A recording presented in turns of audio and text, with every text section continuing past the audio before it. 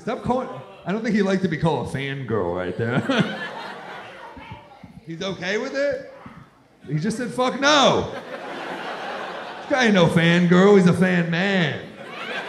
Yeah. Damn. That's a bad sign when this dude's right here. I'm, I'm watching like you guys. I don't know what's gonna happen.